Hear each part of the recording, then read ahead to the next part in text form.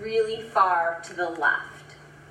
So 90% of it is, is, has not been converted into isocitrate.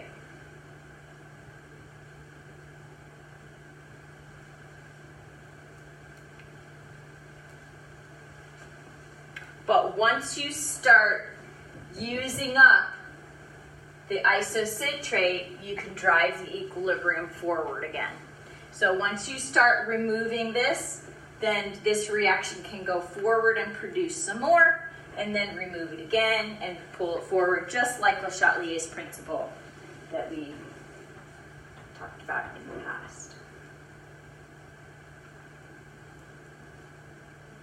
So we already know the answer. How can this reaction still proceed? We need to have a really nice energetic reaction for the next one to pull it along. So as soon as that isocitrate gets formed, let's quick use it and move on.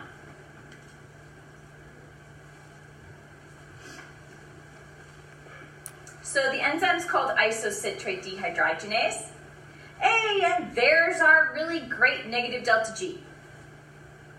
So even though we paid a little bit of a penalty to make isocitrate, when we go to make alpha ketoglutarate, we have a really nice high negative delta G.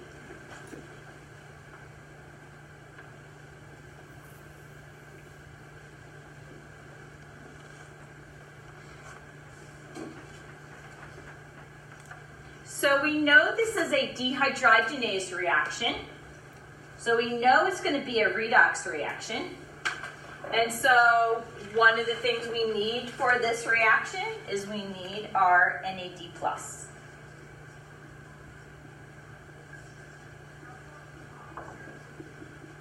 So that one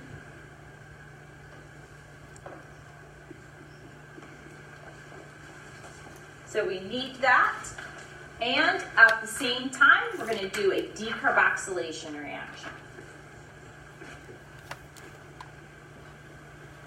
So the combination of decarboxylating it and hydrogen or converting the NAD plus to the NADH, both of those two is what's helping drive that negative delta G.